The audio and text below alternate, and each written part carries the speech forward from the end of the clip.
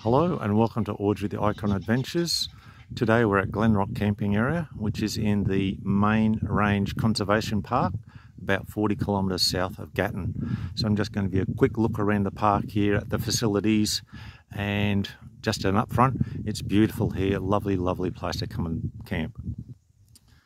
But there's the gateway coming into the campground and just off to the side here is a large group camp area got a bit of slope about it so that's why we didn't go there. It's set up that if you've got a horse you can get up there if your horse float etc you can hear the galahs up in the trees. Come around here a bit further. And toilet block and in one of them there's even a cold water shower. Uh, it does run on creek water so please use it very very sparingly as you come in from the entrance a little bit further, you have a lovely flat area off to the right-hand side.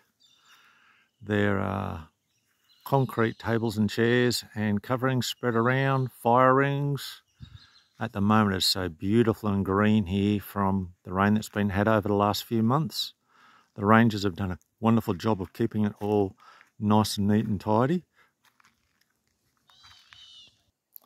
Now I've walked right down the other end of the campground to show how they've got little clumps of trees to break up the areas so it gives you plenty of privacy. Small correction the tables and chairs are wooden not concrete.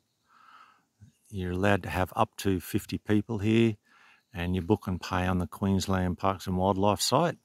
So that's the camping area and just around behind us is the day use area.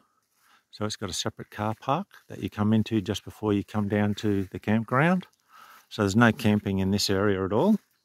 There's a number of horse trails and walking trails that originate from this uh, day use area and the campground. So there's another toilet block down there. And there's another one there.